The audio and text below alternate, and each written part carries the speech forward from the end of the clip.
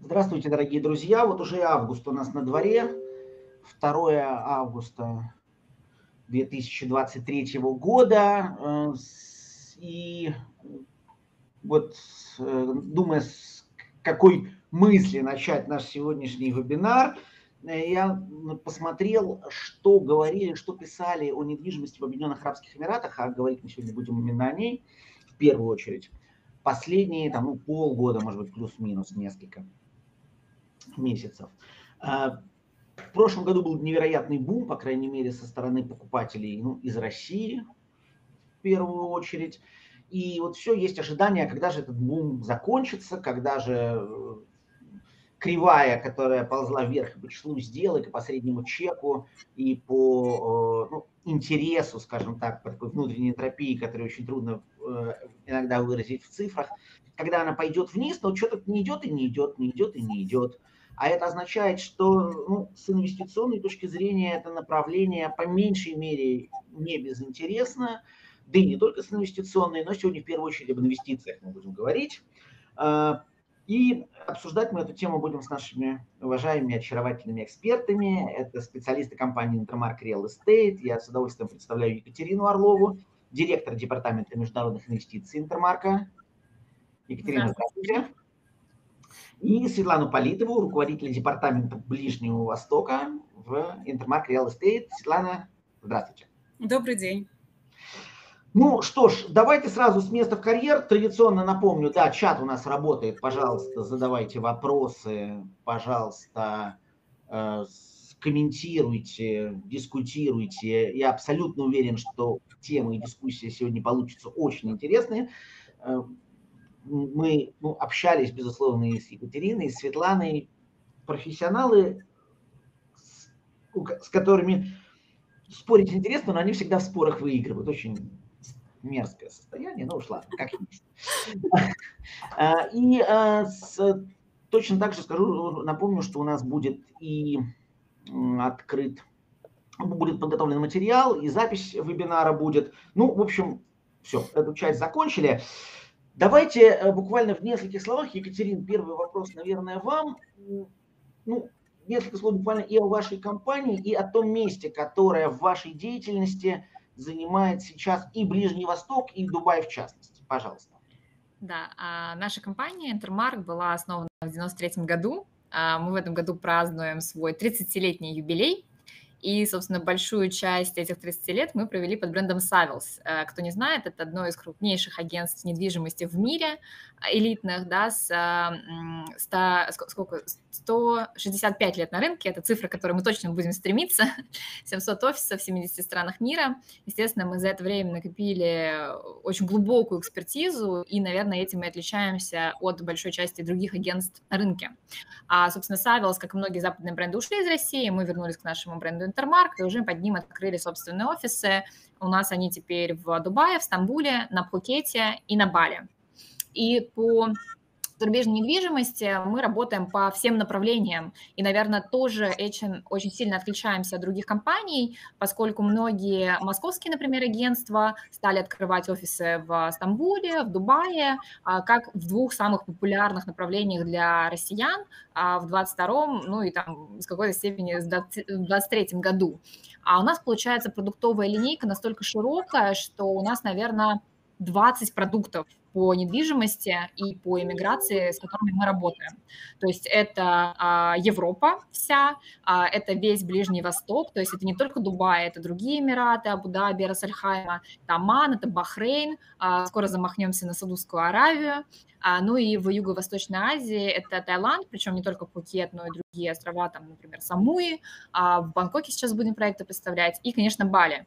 И наверное, такой вот очень а, комплексный взгляд на зарубежный рынок позволяет нам очень четко понимать место Дубая в этой всей истории, да, и Дубай, а, он почему популярен? Ну, во-первых, он близкий, да, географически, инфраструктурно, похож во многом на Москву тем, что это мегаполис, безусловно, в Дубае очень сильный маркетинг самого направления, как с туристической точки зрения, так и для простоты ведения бизнеса, И все это в совокупности привело к тому, что россияне оказались на третьем месте, а, точнее, извините, на первом месте, там с, э, вышли в топ-3 а, по количеству совершенных сделок.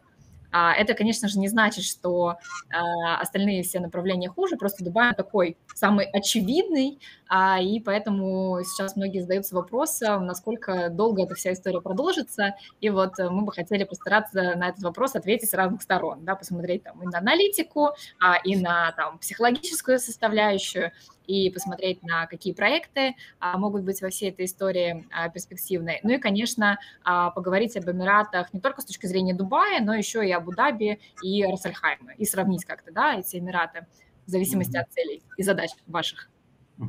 Ну, смотрите, давайте тогда в продолжении этого вопроса, э, вот если в общих чертах говорить, э, понятно, что спрос на Эмираты в прошлом году вырос, в том числе со стороны э, россиян. Можно ли говорить все-таки о, смотреть на этот рынок уверенно именно с инвестиционной точки зрения, на ваш взгляд? Екатерина, Светлана, я тоже и вам передаю уже слово, все-таки, а потому что на самом деле скептических голосов много, и их аргументы, в общем-то, понятны.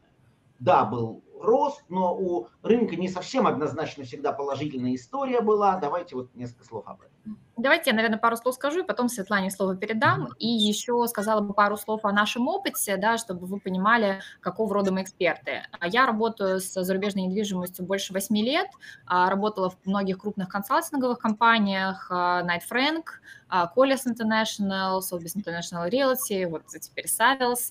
А, и я специализируюсь преимущественно вот на инвестициях, управляю департаментом инвестиций. И моя коллега Светлана тоже, думаю, пару слов добавит себе. 13,5 лет жила в Абу-Даби, а, управляла локальным агентством недвижимости, в какой-то момент а, имела даже свою компанию агентства недвижимости и очень глубоко погружена именно в этот регион а, и, если более точечно, в этот Эмират. А, а если возвращаться к вашему вопросу, да, Филипп, про инвестиционную привлекательность, всегда очень нужно четко понимать, что инвестиционная привлекательность состоит из двух вещей. Арендная и капитализация. И вот э, с арендной точки зрения в Дубае и, в принципе, в Эмиратах все прекрасно.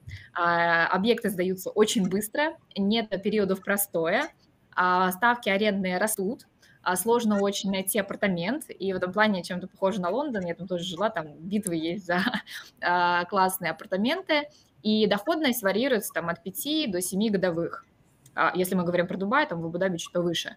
Но вот вопрос с капитализацией, он не такой однозначный то, как вы говорите, да, вот графики. А, я думаю, что Светлана а, как раз а, много аналитики подготовила к этому вебинару, и сейчас про это тоже побольше расскажет.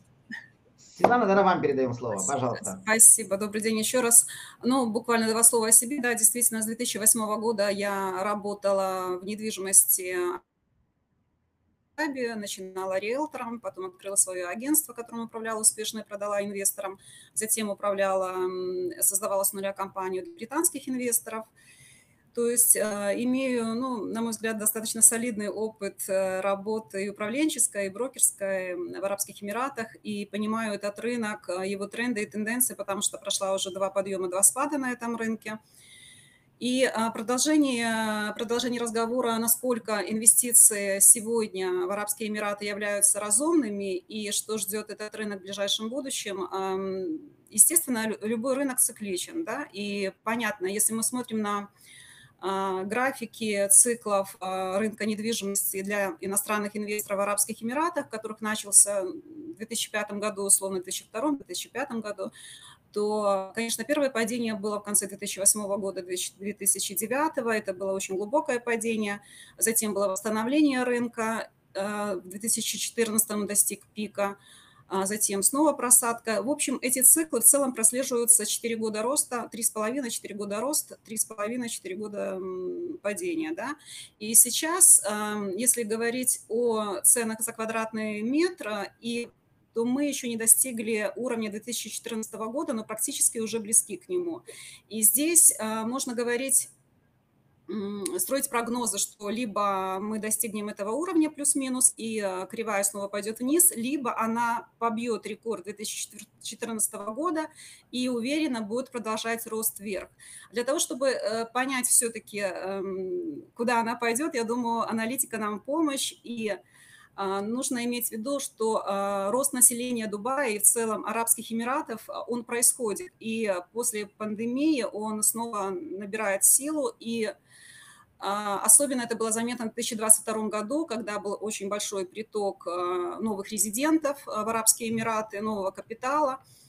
И, конечно, есть основания полагать, что пик роста побьет э, уровень 2014 года, достигнув, наверное, может, в конце 23 в начале 24 года этот уровень, и а, поставит новые рекорды, и 2024 год, возможно, станет пиковым в росте цен а за всю историю недвижимости иностран... для иностранного инвестора в Арабских Эмиратах. А, Катерина хорошо сказала о рынке скажем, об, аспекте э, инвестиций с точки зрения текущей доходности. Нужно иметь в виду, что а, доходность а, формируется в очень устойчивой валюте. Дирхам привязан э, к доллару а, вообще официально с 1997 года, но по факту с 1980 года. И на протяжении этого огромного отрезка времени, около 40 лет, его волатильность к доллару была не больше 0,5%. То есть по факту мы можем сказать, что дирхам – это квазидоллар. И э, найти э, в мире страну, где текущая доходность будет давать стабильной валюте около 7% на долгосрок, это практически невозможно. То есть невозможно сопоставить никакую другую страну. В Европе нам известно, что эта доходность э, там, от 2 до 4% максимум. В Москве тоже она гораздо меньше, причем в рублях. Если говорить о капитализации, то капитали... темпы капитализации снижаются, это очевидно. То есть если э, в среднем брать среднюю температуру по палате, потому что, конечно, очень важный момент э, для капитализации является точкой входа в инвестиции и точка выхода инвестиций, и промежуток временной между этими двумя точками.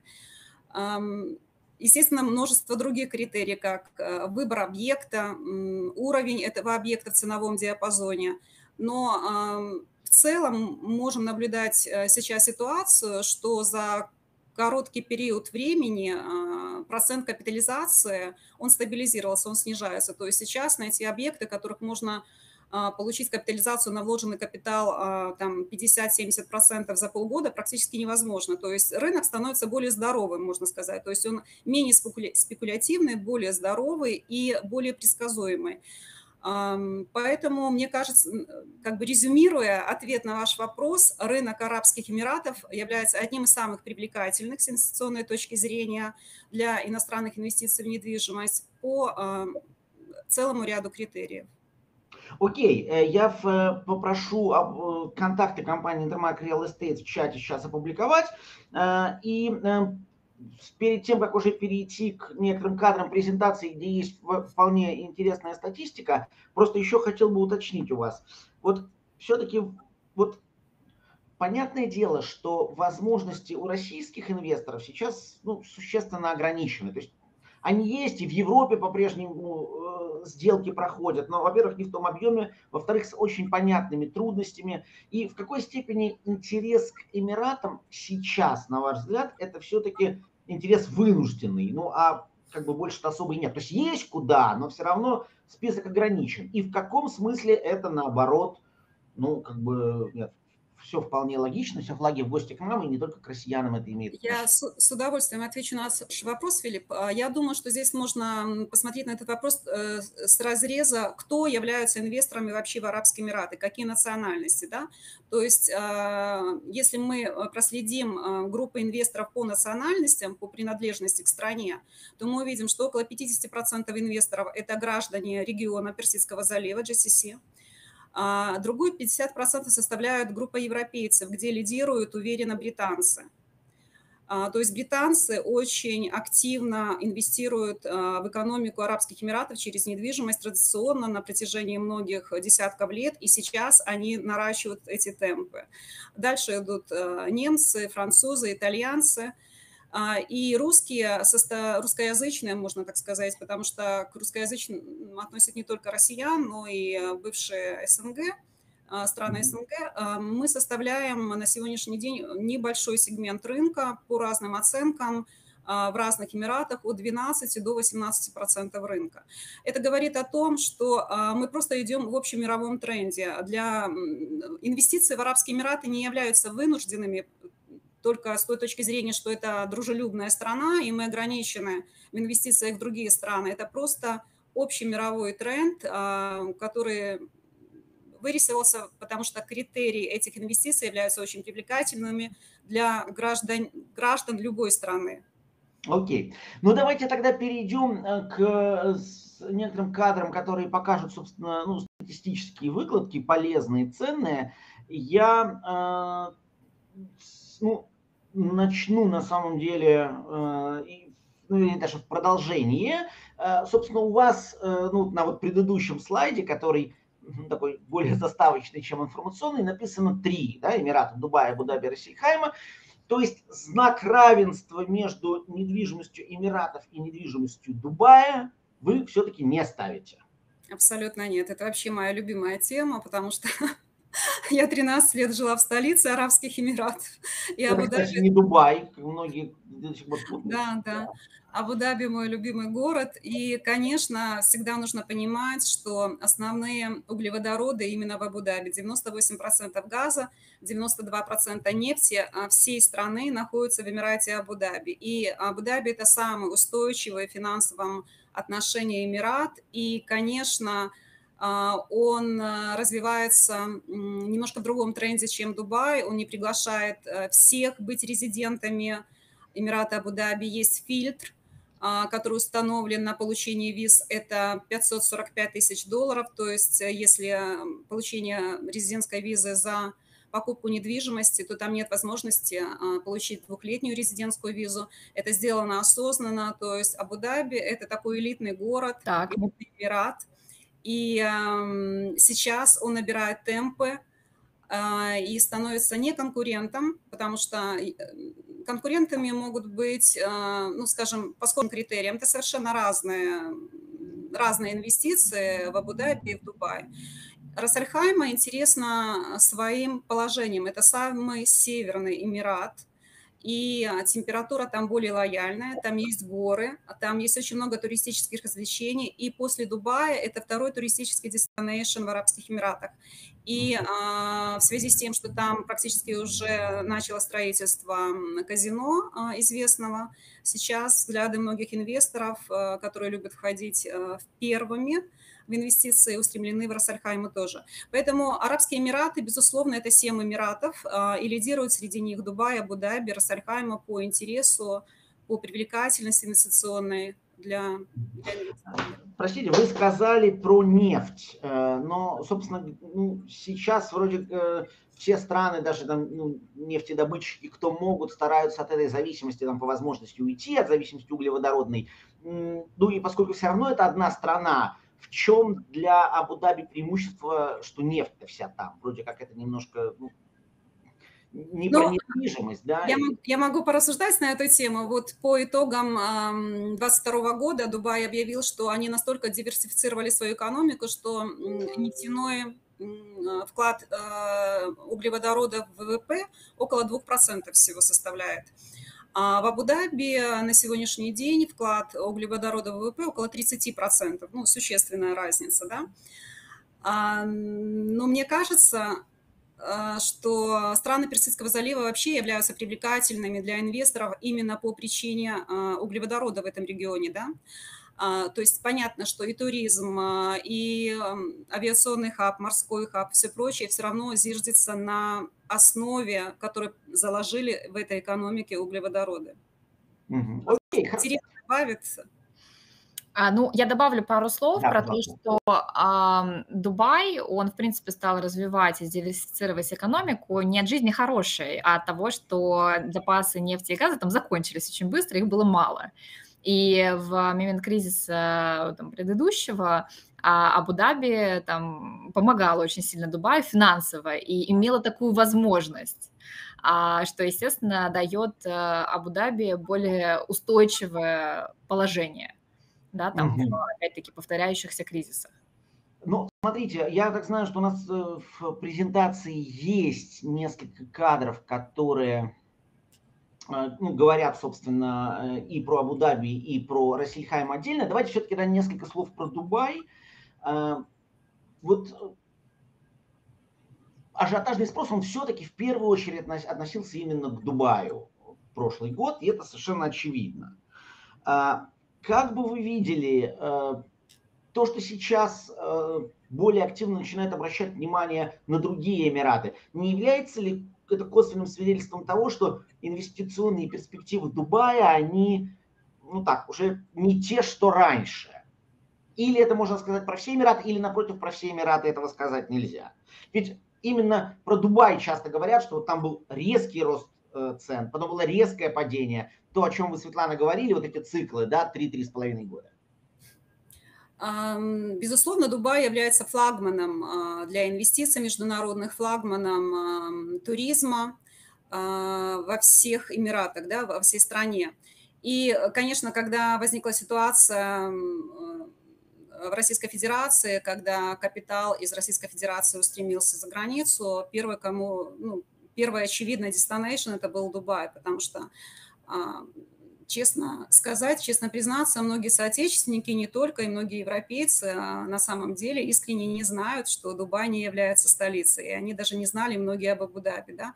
Тема Абу-Даби начала подниматься активно только последние несколько лет, именно после того, когда а, действительно многие наши сограждане либо бывали в Дубае, либо там осели и получили резидентские визы, и вдруг ну, снизошли до откровения, что Дубай – это не столица, есть еще жемчужина, да, и не одна, ну, как минимум Абу-Даби, как максимум это Рассальхайма.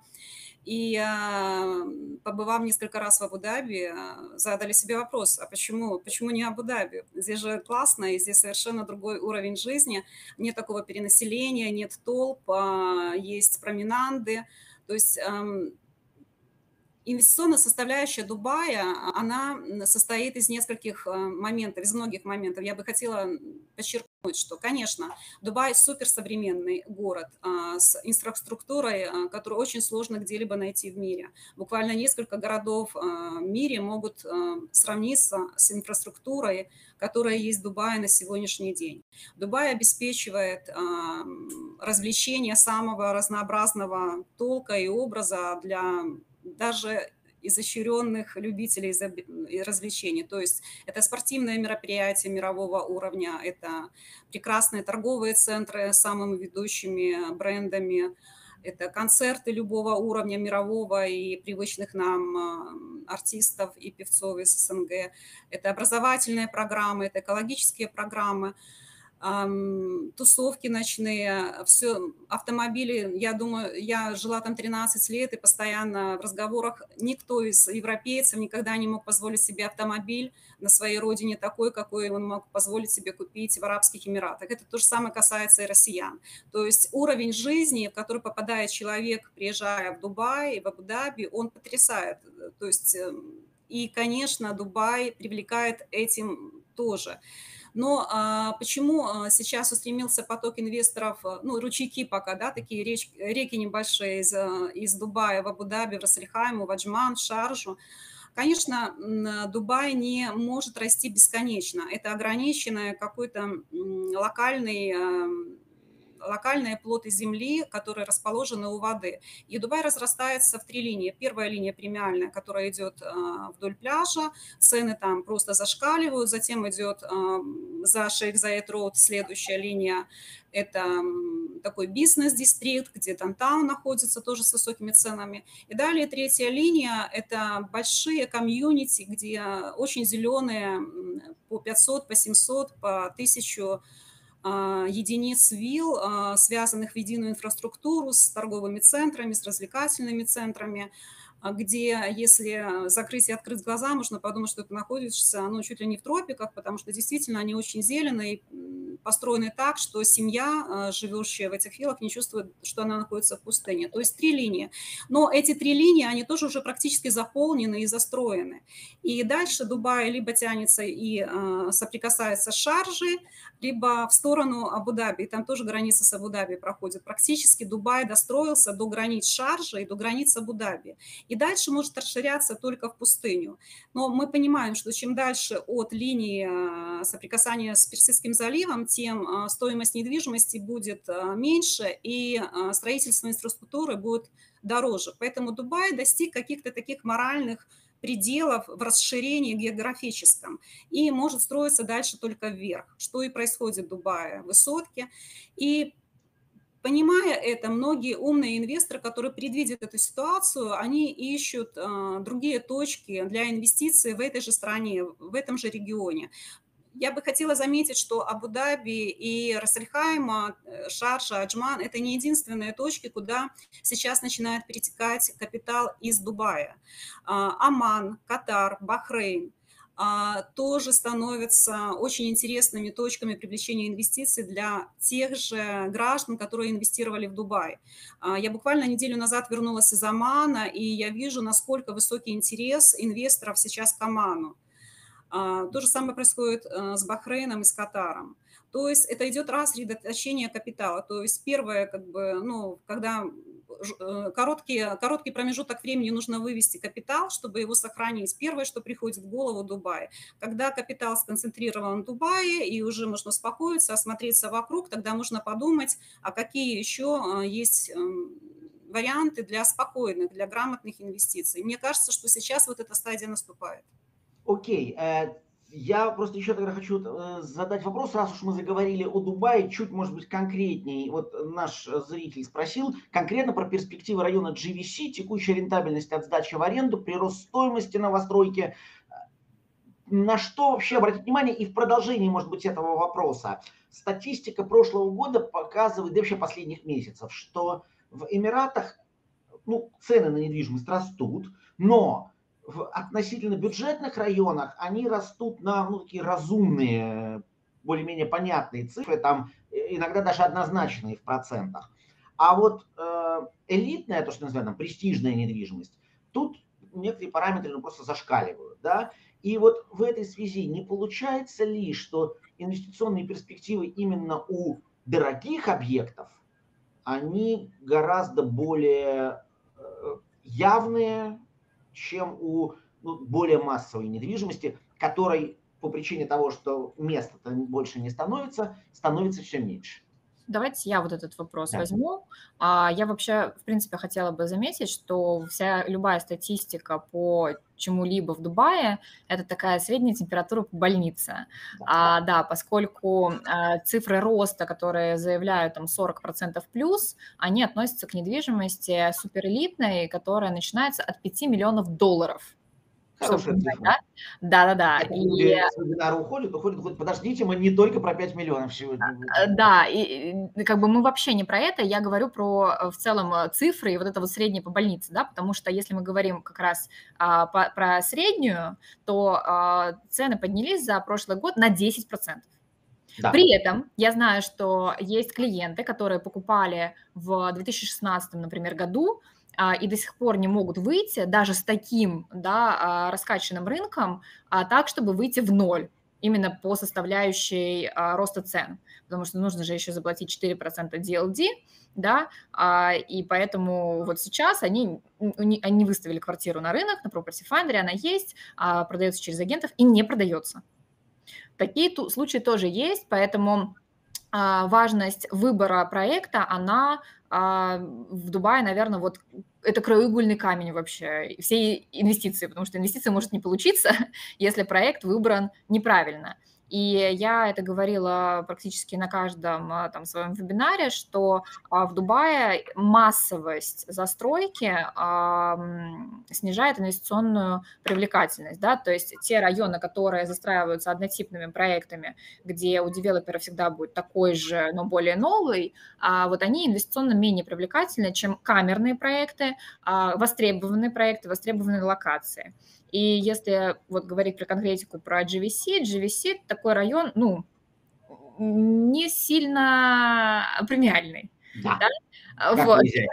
Э, туше, как бы, да, а, не сильно премиальный, и, на мой взгляд, поэтому он относится к менее инвестиционно привлекательным, потому что все-таки чем вообще был интересен Дубай, почему туда большой капитал пошел не только из России, но и из других стран, потому что во время ковидных ограничений Дубай быстро очень их снял, а, и вот виллы, да, которые стали подниматься там больше даже, чем на 40% дорогие на Пальме, они стали подниматься за счет а, того, что очень состоятельные люди переезжали и хотели купить недвижимость в первую очередь для себя да, и это повлияло на рост цен на рынке. Поэтому моя рекомендация однозначно выбирать уникальные проекты, не а, сильно многоквартирные, и тогда инвестиционная привлекательность будет выше. Но опять-таки, точные цифры вот вам никто не скажет. Я вам сейчас приведу прекрасный пример. Uh, Knight Frank Wealth Reports, uh, они делают каждый год по мировым столицам оценку того, насколько поднимутся цены. А когда в Дубае был прирост uh, плюс 41% на элитную недвижимость в прошлом году, их прогноз был минус 2% или минус 1% на этот же самый период если говорить о прогнозах. Ну, то есть это ну, такое... Не помню, кто называл. В небо. Я, я где-то увидел цифру, она была тоже в прошлом году, 70% называли рост. И я когда это ну, прочитал, и, и вроде как и не опубликовать грех такая цифра, а с другой стороны опубликовать, ты понимаешь, что тут, видимо, очень много но в таких вопросах. А, но вот, вот Алексея, кстати, вопрос, а, я увидел на вашем слайде одном, ну, сейчас уже открывать его не буду, а, вот все-таки минимальный порог входа, который вы сейчас видите в Дубае, давайте так, вообще в Эмираты. И э, от следующий вопрос минимальный порог входа, который может считаться нормально инвестиционным, потому что наверняка есть объекты, которые, ну, их купить можно, но как инвестиционные вы их не будете рекомендовать ни при каких обстоятельствах, и, как правило, это объекты как раз низкой ценовой категории. Или здесь это не так? Светлана, Екатерина, что скажете? Я, я могу свое мнение сказать, потом, наверное, Екатерина тоже захочет еще. А, я а, вообще эм, слилась в едином порыве с мнением эм, правителя Арабских Эмиратов и Абу-Даби в частности. Я считаю, что 545 тысяч долларов – а, та сумма, за которую предлагается золотая виза, и является а, тем золотым сечением, с которого нужно начинать инвестиции в эту страну. А, именно входя с такой суммой, примерно 550 тысяч долларов, 600-650 тысяч долларов, инвестиции являются безопасными, потому что эта сумма может обеспечить достойный выбор, а, уже э, достаточно широкий выбор объектов, и можно сравнить доходность и текущую этого объекта, его капитализацию, сравнить подобные проекты, которые были уже построены и уже эксплуатируются 4, 5, 6 лет.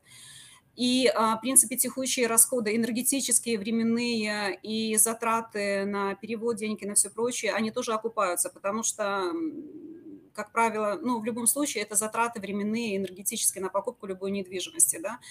И риски инвестиционные при заходе 500-600 тысяч долларов, они а, значительно снижаются, потому что это самая ликвидная группа недвижимости.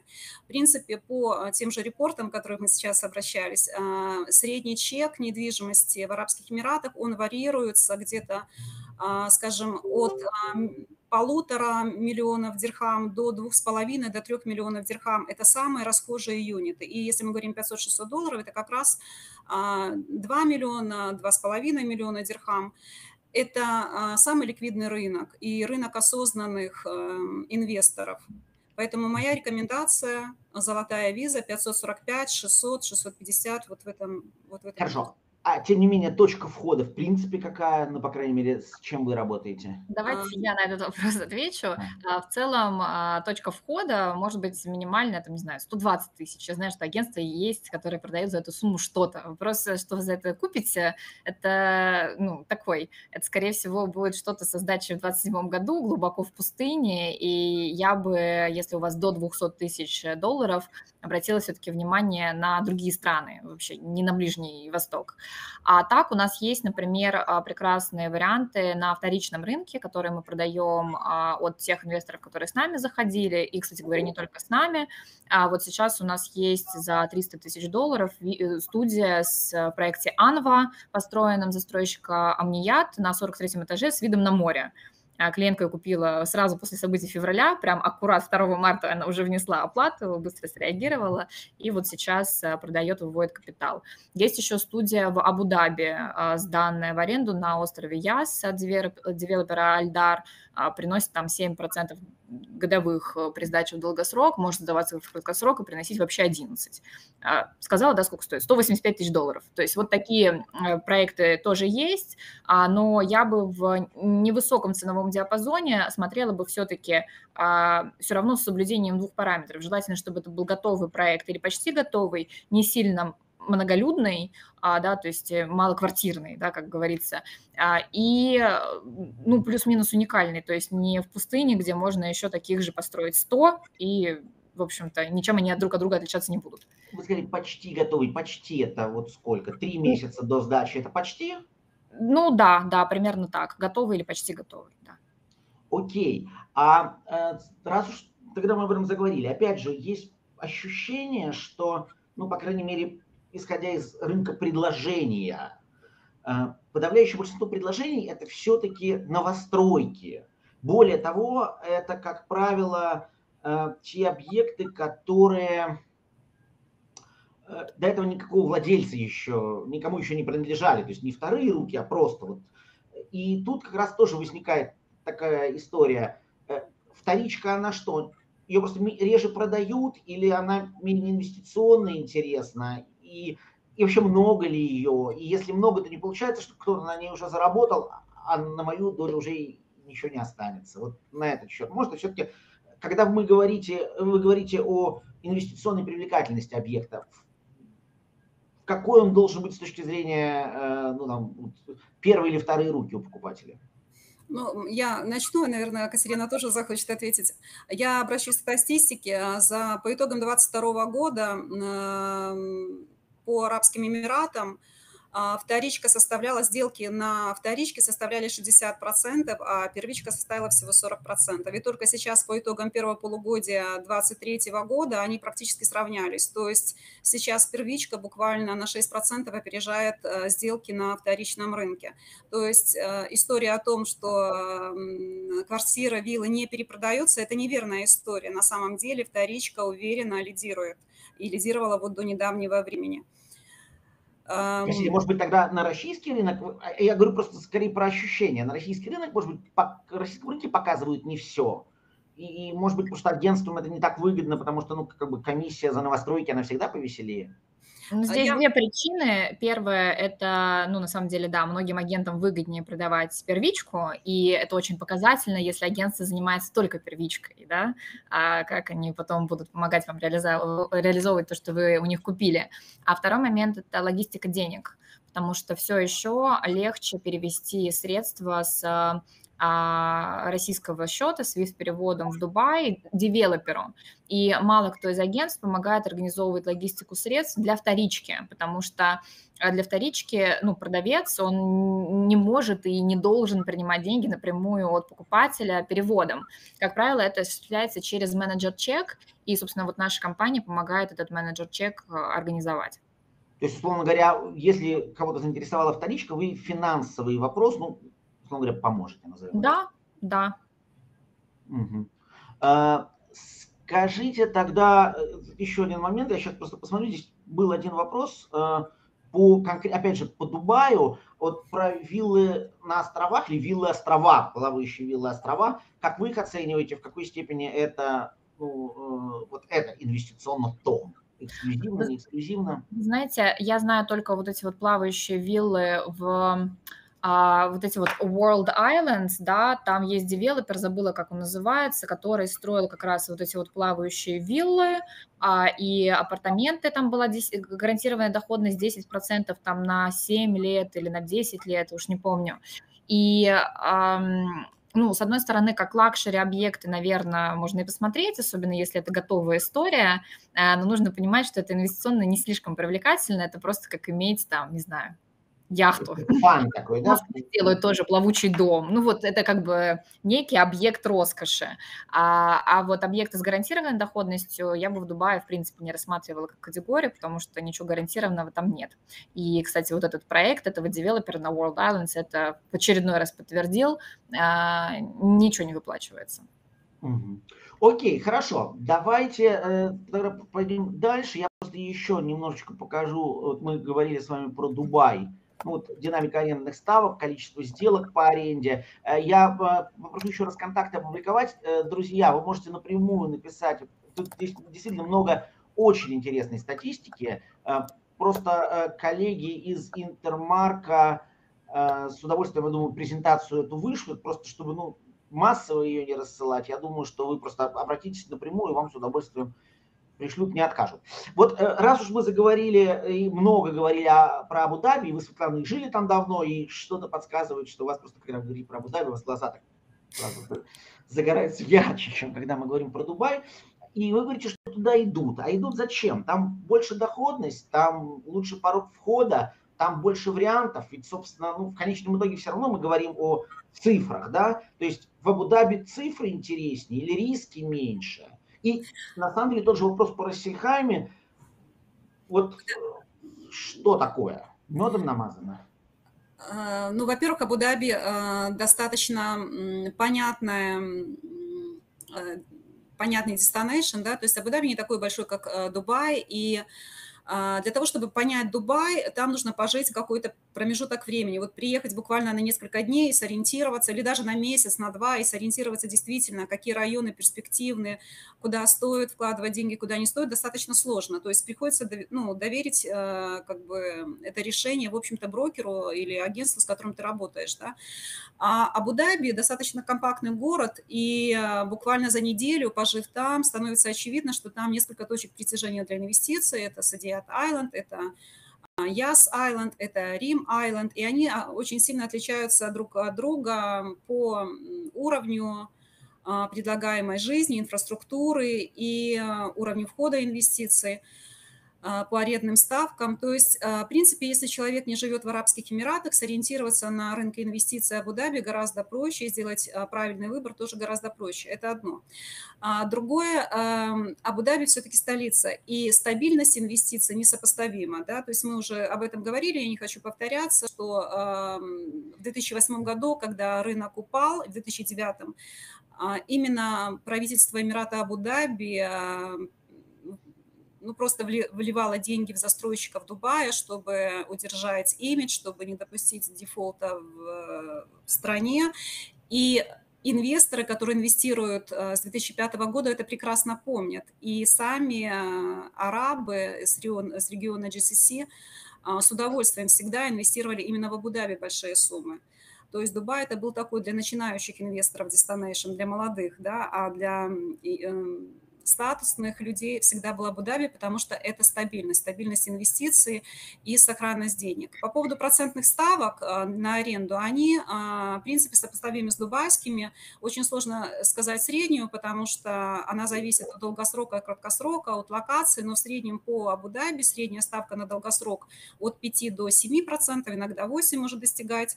А на краткосрок это 9, 11, 12 процентов тоже может быть, но 8-9 это минимум, который дает краткосрочная, краткосрочная инвестиция. То есть а, в Дубае они, может быть, там на 1-2 процента ниже, но опять-таки в зависимости от, э, от проекта. А, Еще это диверсификация портфеля. То есть, как правило, по нашим покупателям мы видим, что выходят на рынок Абу-Даби те, кто уже инвестировал в Дубай, и э, хотят расширить географию своих инвестиций, то есть диверсифицировать портфель. А, и специалисты, эм, ну, высококвалифицированные специалисты, которые просто приезжают жить э, и работать в Абу-Даби по приглашению ведущих компаний, потому что именно в Абу-Даби сосредоточен крупный финансовый бизнес, а, нефтегазовые крупнейшие мировые компании сосредоточены в Абу-Даби, а, университеты, школы, эм, лучшие университеты в Абу-Даби в Дубае, конечно. И они приглашают э, высокооплаченных специалистов, которые приезжают, им нравится этот город и покупают жилье, инвестируют в это жилье. Именно такие инвестиции делают европейцы в основном. В основном инвестируют те, кто когда-либо приезжал и работал там, и хотят иметь там стабильные инвестиции. То есть это немножко другая история, это больше о стиле жизни, об окружении, о... Ну, я бы могла сравнить как э, в какой-то мере о срезе людей, как мы говорили, когда-то было мнение, что Питер – это культурная столица Российской Федерации, да, Санкт-Петербург. Так вот, Абу-Даби – это интеллектуальная столица, это культурная столица, это финансовый центр, это такой оазис стабильности э, для инвестиций, для финансов. Тогда... Я да. думаю, можно я добавлю еще пару слов, потому что я уверена, что Светлана может, в принципе, говорить бесконечно об Абу-Даби, но то, что мне бросилось в глаза как инвестиционному специалисту, когда я стала впервые на этот рынок смотреть, это а, огромное количество а, уникальной инфраструктуры созданы, да, потому что на уникальный в каком плане? Вот на острове Седия там есть а, и Лувр, и строится Гугенхайм музей, и музей Шейха Зайда, и вот эта вот а, площадь а, трех религий, да, где ислам, христианство и иудаизм, и то, что там Нью-Йоркский университет, и то, что там торговый центр, ну, торговый центр это, конечно, классика Дубая, но вот на втором острове Яс, там еще и развлекательная инфраструктура для детей, все в одном месте, и не только для детей, кстати, там Ferrari World, World, там Этихад Арена, там этот, э, гоночная трасса для Формулы-1, и все это в одном месте, и вот в этом одном месте там же одновременно предлагается жилая недвижимость,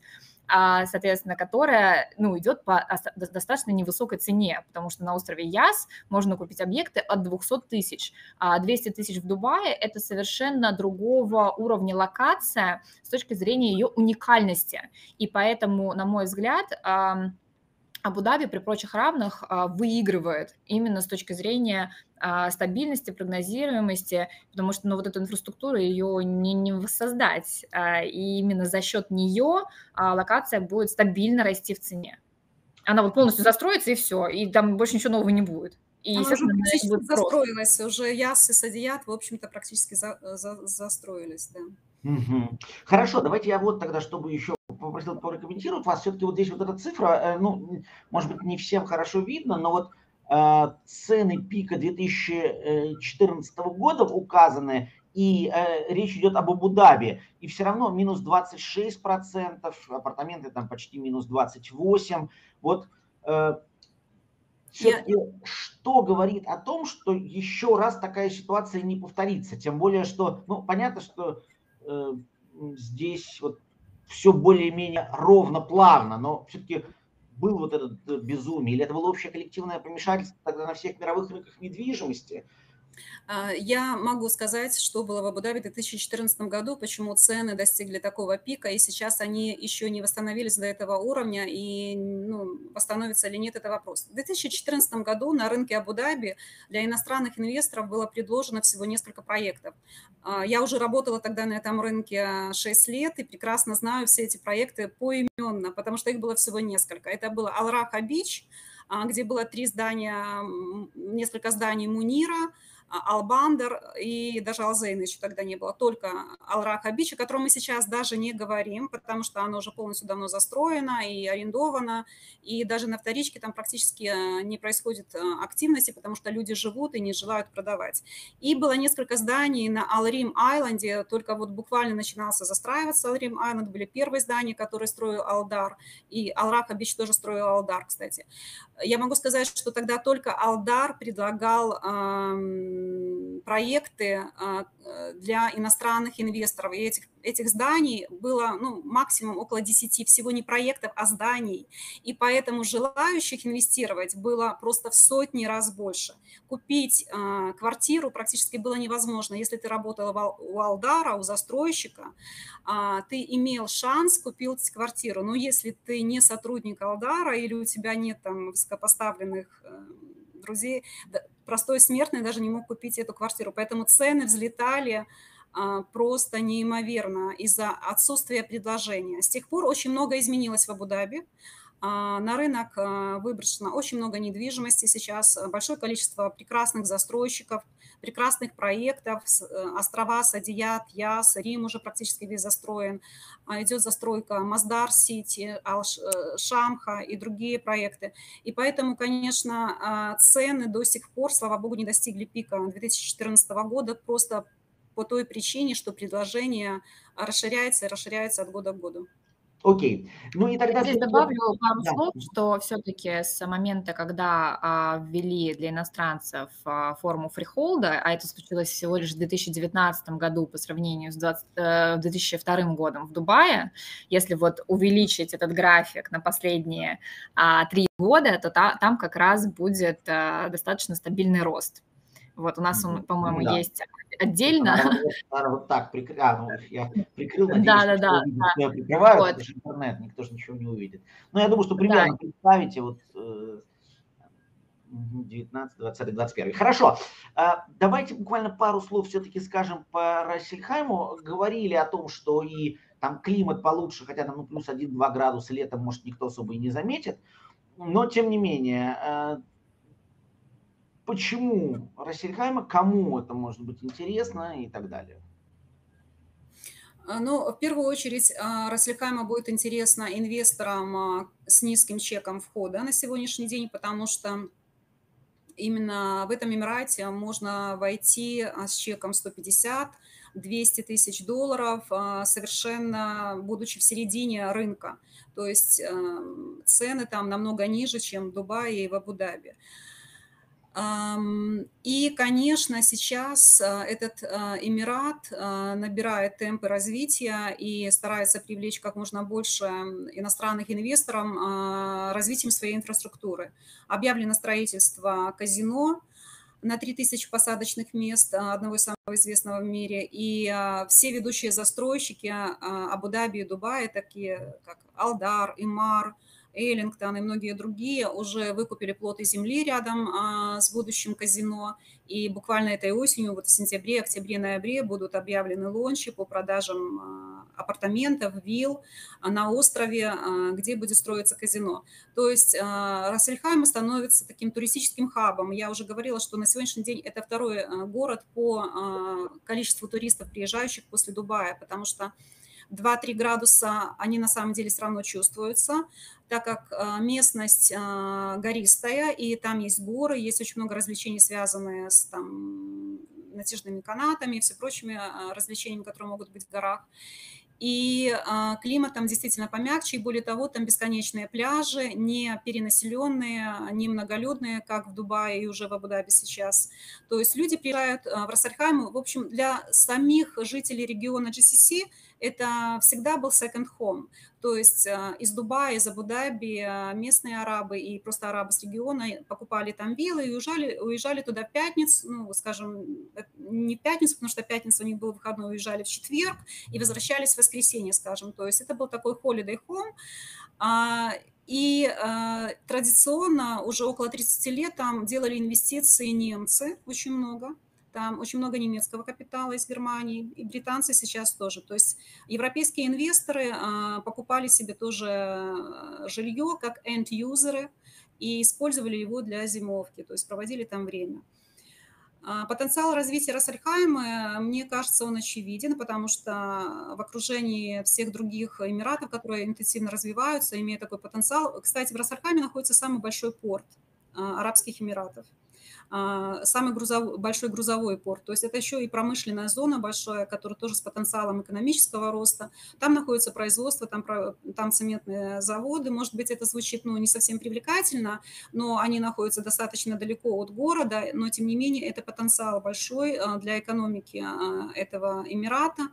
Там находится производство мебели, и, ну, по-моему, даже у нас в России продают плитку и сантехнику, которая сделана в Рас-эль-Хайме, кстати. Окей. Я могу добавить пару Да, слов конечно. буквально. Я бы сказала, что в Рас-эль-Хайме классно, классно покупать недвижимость тем, кто хочет что-то на первой линии. У нас было, по-моему, даже в какой-то презентации а, сравнение, а если вы покупаете на первой линии в Абу-Даби, в Дубае и в Рас-эль-Хайме. А в Рас-эль-Хайме цена недвижимости в разы ниже, то есть там за 500 тысяч долларов можно купить что-то классное, прям вот с видом на океан, что ни в Дубае, ни в Абу-Даби невозможно. И еще один фактор, но он скорее такой, а, на подумать, а, многие, мне кажется, переоценивают значение наличия казино в Рассальхайме. То есть я бы все-таки говорила о том, что Рассальхайма популярна за счет именно туризма, а, да, там горы, водопады, плюс пляжный отдых, плюс различные там фестивали музыки и так далее, потому что в казино если задуматься, там всего лишь 5 тысяч посадочных мест, а, ну, то есть игровых мест, а, ну, то есть, э, да, это в день, а, поэтому какое количество туристов реально будут приезжать из-за казино. 5 тысяч человек, которые играют, да, плюс их семьи. То есть в совокупности на самом деле не так много. И казино интересно тем, что оно первое казино. То есть будет ли это знаком к тому, что там в принципе в дальнейшем будут развиваться а, вот эта игровая индустрия? Если да, то, конечно, да, это окажет влияние на там рынок недвижимости инвестиционно. А, но вот э, многие, мне кажется, на данном моменте одно, э, фактор одного казино переоценивают. Да. Окей, ну я просто... У меня все. Сказать, что э, я, ну, как бы, поскольку совершенно там чушь, может быть, слава богу, семья моя сейчас, если слышит, обрадуется, хотя вряд ли они меня слышат, что я там азартные игры не очень понимаю, поэтому для меня это, ну, как бы, казино, может, и не кажется аргументом. С другой стороны, знавал одного человека, правда, он благодаря этому казино теперь ничего не может наверное, позволить себе нигде купить в мире. Так вот, он прям казино, казино очень здорово, и даже ездил когда-то в те места, где э, во время Российской Федерации еще оставались возможности поиграть. Ну, собственно, отвлеклись мы немножечко э, с этим казино. Э, вот еще что хочу тогда спросить. Давайте, э, с, друзья, поступим следующим образом. Сейчас ненадолго вернемся в Дубай, а потом, уже ближе к завершению, поговорим. Все-таки не хочется вас отпускать, пока вы не расскажете про вот Оман, Катар, Бахрейн и вообще немножко Ближний Восток. Потому что это действительно очень интересная история. Но все-таки возвращаемся в Дубай. Э, тут момент э, есть несколько объектов, да, которые э, вы хотели представить, соответственно, мы сейчас их покажем. И все-таки такой уж прямой вопрос. Не получается ли так, что в Дубае выиграли те, кто инвестировал 3-4 года назад больше всего, а те, кто инвестирует сейчас, ну, уже как бы будут э, там, довольствоваться тем, что осталось. Опять же, с учетом того, что было последний год, полтора, как вот эти цифры правильно сейчас будет оценить, и параллельно сразу будем говорить о проектах. Катерина, ты расскажешь? Да, э, я, честно говоря, не очень так отношусь э, к позиции. А вот если бы мы могли перенестись на N лет назад, что бы мы делали тогда? А, надо думать, что делать сейчас, и хорошая ли точка входа сейчас. Как я говорила, в Дубае такая очень средняя температура по больнице, то есть не факт, что если бы вы заходили в какой-то определенный проект 3 или 4 года назад, а, вы бы сейчас прекрасно на нем заработали. Есть вообще и обратные случаи. Вот, а, поэтому, если говорить про сейчас, а, думаю ли я, что стоит заходить в Дубай? Да, при определенных а, обстоятельствах, которые все сочетаются в одном проекте. Да, если вы туда собираетесь переезжать и хотите недвижимость для себя, особенно если вам не нравится типичный дубайский ремонт, и вы хотите с этой недвижимостью что сделать. А если говорить про инвестиционную составляющую, то как я говорила, три вещи должны сходиться. Малоквартирный проект, уникальная локация и что еще? А, ну, вообще желательно, конечно, чтобы он был ближе к готовности, потому что а, Дубай в первую очередь интересен а, высокой арендной доходностью, которую вы действительно не получите где-либо еще. Я бы не вкладывалась в проекты, которые там будут в 2027 году в лучшем случае. Ну, вот это мое личное слэш-экспертное мнение. Окей. Okay. Светлана, поедем тогда по проектам квартиры в центральном районе Дубая. А давайте вот в центральном, э, вот покажу этот проект и вернусь к карте. Где это вот тут здесь? Он здесь есть? А, нет, мы здесь не обозначены на этой карте, потому что они немножко, как бы, карта сделана, чтобы показать главные районы по количеству сделок, по объему продаж, которые были самые активные. А наши предложения мы строили, исходя из того, что мы на сегодняшний день ценово можем предложить нашим инвесторам. Я, наверное, не буду, у нас уже осталось не так много времени, я не буду сейчас а, подробно говорить о каждом объекте, а мы же в любом случае после этого вебинара вышлем презентацию каждому желающему, и тогда можно ознакомиться и проконсультироваться. Но в целом а, проекты мы предлагаем а, те, где действительно на сегодняшний день возможна капитализация около 7-10% в год, и текущая доходность тоже не меньше 5, а, от 5 до 8% текущая арендная доходность. Вот. А более подробно по этим проектам, я думаю, если кому-то будет интересно, мы на индивидуальной консультации расскажем, и презентацию мы вышлем. А вот смотрите, просто, чтобы я для себя понимал, может быть, зрителям тоже будет интересно, вот апартаменты в уникальной локации, Blue Waters, переуступка, эксклюзивно Центрмарк, это имеется в виду, это один просто юнит, Это да? один юнит, да, то есть Blue Waters это уже, ну, это, кстати, один из самых популярных проектов у россиян а, в 2022 году. Это остров уникальный, где колесо обозрения, а, самое, оно второе по величине в мире, по-моему, на насыпном острове. И великое множество апартаментов, большой процент апартаментов выкуплен именно русскоязычными, такое русское комьюнити элитное, люксовое. И, в принципе, купить э, на сегодняшний день и снять квартиру, и купить там апартаменты практически э, невозможно. Но у нас э, есть предложение, буквально появилось три дня назад, вот мы практически первый раз о нем говорим, и подписан эксклюзивный контракт с владельцем на продажу этих апартаментов. Поэтому это очень горячее предложение. Возможно, сегодня, завтра, послезавтра эти апартаменты уйдут. Буквально вот мы несколько дней, как только взяли их в работу. Окей. Давайте дальше просто ну, буквально. Когда говорят эко-комьюнити, эко это что значит? Но Медан, эко-комьюнити, вообще Медан – это одно из новых destination в Дубае, которое развивается в течение нескольких последних лет, и а, под логом а, сохранения экосистемы. Это очень зеленая комьюнити с применением всяких, а, всяческих новейших технологий по привлечению солнечной энергии, по выработке солнечной энергии. То есть это будет такой кластер, и есть этот кластер, где применяются все последние новейшие технологии в плане сохранения окружающей среды и, в частности, частности, а, то, что является важным в Арабских Эмиратах, это выработка солнечной энергии и озеленение. Солнца там хватает, это правда. Апартаменты у гольф-поля в Дубай-Хиллз. Ну, гольф ну, Дубай-Хиллз – это, конечно, всем известный, а, всем известный кластер, очень зеленый, и это очень популярное место для энд-юзеров, которые покупают виллы, чтобы жить э, самим. И, конечно, там есть и апартаменты, удобное место проживания для семей с детьми, а, и, соответственно, для инвестиций тоже, потому что всегда будет спрос на аренду. Окей. Okay. Ну и э, новый проект вот на Пальм Джумира. Это уже совсем да. такая Катя, хочу... Я напомню про то, что у нас есть вот эта прекрасная студия в Анве от Амният. Э, она находится, ну, здесь, наверное, слайд можно выключить. А, она находится напротив а, а, Порт Рашид, где Мар строит огромное свое комьюнити. Ну, как огромное, на самом деле относительно небольшое, если сравнивать с Дубай Крик, тем же самым. И там уже начинают проявляться новые проекты от Амният, Дамака и так далее. А это уже готовое здание, которое можно очень хорошо либо сдать, либо заехать самим, поэтому у нас, в принципе, в портфолио есть и относительно недорогие объекты, напомню, цена 300 тысяч долларов.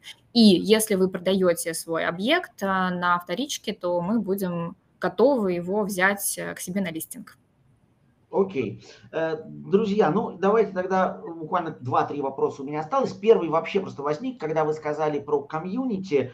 Э, Светлана, а как в Абу-Даби с русскоязычным комьюнити? И насколько это все-таки ну, так, ну а, до 2020...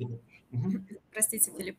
Да. А, до 2022 года в Абу-Даби не было русскоязычной комьюнити, но оно сформировалось в течение 2022 э, года. И это самое, это самая премиальная комьюнити на Saadiyat Island Mamsha. Это самые дорогие апартаменты, которые вообще есть в Абу-Даби, самым прекрасным видом, а, рядом с Лувром, рядом с будущим а, музеем Гугентейма, на самом а, шикарном пляже вообще во всех Арабских Эмиратах. Это Мамша пляж. Мамша была построена несколько лет назад, и это уже готовые апартаменты, но в 2022 году значительный процент их, больше половины, значительно больше половины было выкуплено на вторичке нашими соотечественниками. Но это еще показатель того, что мы покупаем всегда самое лучшее. Окей. Okay. Хорошо. Ну и тогда все-таки тот вопрос, который я анонсировал несколько минут назад. Опять же, вот мы говорили про Дубай, потом посмотрели, а если не Дубай, а, скажем, э, Рассельхайм или Абу-Даби, а если вообще не Эмираты, но все-таки Ближний Восток, что такого может предложить Оман, Бахрейн, и чего не могут предложить, что могут предложить Эмираты. Кому интереснее смотреть в ту сторону и почему, как вы сказали, люди приходят и вкладывая, вложив деньги, переведя деньги в Дубай, сейчас смотрят уже на другие направления. Это только диверсификация или там интереснее? Это и то, и другое. А, это и диверсификация, и а, эти направления в некотором плане будут интересны определенной группе инвесторов. И э, во-первых, это все тот же регион Персидского залива. Это все та же стабильность экономик, основанная на добыче и продаже углеводородов. А, это та же ментальность, которая очень доброжелательно относится ко всем национальностям и выдерживает такую консервативную политику балансирования между Западом и Востоком, да, и является дружелюбными странами, дружелюбными политиками для россиян. Ну и не только для россиян, потому что в эти страны традиционно инвестируют европейцы и сами жители арабского региона. Я сейчас хочу более подробно рассказать, ну, несколько минут об Омане, потому что я там провела 8 дней, вот на прошлой неделе была а, в, столице Омана, Маскате, и слетала в Салалу, это курортный город, о котором вообще практически никто не знает. И э, почему Оман? Примеру, потому что это тот же Абу-Даби, только 20 лет назад. Это идеальная чистота, это идеальная культура, это интеллигентные люди, очень открытые. Это очень стабильная экономика.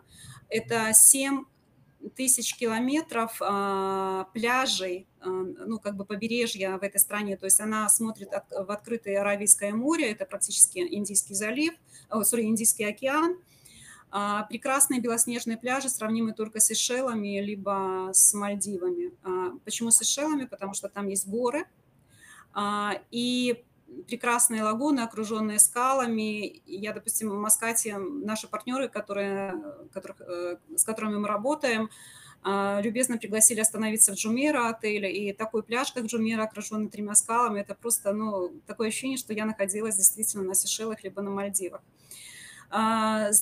И экономика этих стран а, стала открыта для иностранных инвестиций буквально недавно. То есть в определенных зонах, выделенных ITC-зонах, а, строятся проекты ведущими застройщиками мировыми по мировым стандартам с мировой инфраструктурой, которые предлагают а, иностранным инвесторам апартаменты и виллы по цене несопоставимой сейчас с тем, что мы видим в Арабских Эмиратах. Но по качеству, по инфраструктуре это очень сопоставимо. И э, арендная ставка там тоже сейчас варьируется от 4 до 6 процентов на долгосрок в крепкой валюте. Реал – это ну, практически чуть ли не единственная валюта, которая соотносится к доллару. Один реал стоит 2,6 долларов. Это очень необычно. А, и он тоже привязан к доллару уже много лет и не имеет волатильности. То есть это тоже может э, крепкая валюта, квази-доллар, можем сказать, и имеете доход а, в фиксированной валюте. Кроме этого, вы имеете ВНЖ, резидентскую визу и возможность открыть банковский счет, а, который позволяет э, ну, делать многие вещи, да, то есть чувствовать себя уверенно и держать э, платежи, э, производить э, ну, в мировой системе банковской, быть, быть интегрированным в мировую банковскую систему. Причем резидентскую визу правительство Омана предлагает всем, независимо от порога входа, даже можно купить к примеру, за 100 тысяч долларов недвижимость и получить резидентскую визу для себя и семьи. А, вот. А, хочу сказать отдельно о а, природе Омана. Это не пустыня, как мы привыкли думать, это очень много гор, и на горных плато, это горные реки, это рощи с фруктовыми деревьями. Рядом с Маскатом есть плато, где растут гранаты, где вызревают манго, папайя. Это прям рядом с Маскатом. Если проехать тысячу километров на юг, в Салалу, это вообще курортный город. Это единственное, единственное место а, на Аравийском полуострове, куда доходит индийский мусон. И а, с июня по сентябрь там идут дожди, и все зелено так, как в тропиках. А, фрукты просто невыразимо вкусные, папайя, манго, ананасы, все растут прямо на деревьях в диком виде. А, водопады, реки, и сезон там круглый год. И мы тоже там работаем и предлагаем проекты, а, инвестиции в которые а, действительно приносят доход круглый год, там круглый год сезон. Сейчас жители региона отдыхают, потому что скрываются от жары, а начиная с сентября до июня европейцы просто излюбленное место отдыха европейцев, и капитал там в основном 50% арабского капитала – и очень много британского капитала, больше 20% э, туда инвестируют британцы. И наши э, соотечественники тоже второй год, э, наша компания помогает, мы помогаем инвестировать в Салалу и в Маскат. Окей, я думаю, что после такой бойкой информации о Омане. Контакты будет еще очень правильно опубликовать на наших э, экспертов сегодня. Ну и в завершении тогда один вопрос уже такой более технического характера. Э, вы в самом начале, Екатерина, сказали про открытие вашего офиса в э, Эмиратах, но при этом вот судя по интерьеру за спиной Светланы, она точно находится сейчас ну, очень московское какой-то вид, хотя фонарик вполне, вполне себе питерский. Э, вот, в двух словах, все-таки как это сейчас происходит, то есть ваш офис там это типа помощь или это реальная какая-то, вы передаете отсюда людей туда, и они там э, работают уже с этим офисом, как вообще сейчас строится работа с учетом всех ну, ограничений, трудностей, и какие трудности реально сейчас есть, и что вы, как вы помогаете все преодолеть? Ну, смотрите, у нас в каждом офисе укомплектованная команда профессионалов, а, в том числе в, например, дубайском офисе у нас ряд сотрудников, держателей британских паспортов, то есть мы работаем не только с русскоговорящими клиентами. И в целом про организацию у нас в моем департаменте есть отделы, посвященные определенному региону. И, как правило, сотрудники этих отделов, они находятся и в Москве для того, чтобы работать с клиентами, которые находятся в России, и на месте для того, чтобы осуществлять показы, для того, чтобы ездить э, самостоятельно смотреть проекты и так далее. И у нас такая схема развита по там, основным направлениям, то есть э, и на Пхукете у нас так, э, и на Бали, и, собственно, в Дубае. И более того, у нас, вот, к слову про Оман, недавно появился сотрудник, который находится непосредственно в Омане, несмотря на то, что офиса физического у нас там нет.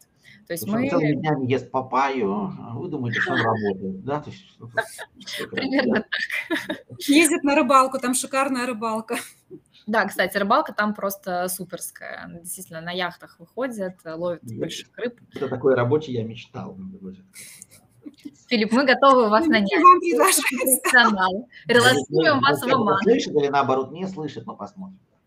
После, после вебинара выясним. После вебинара.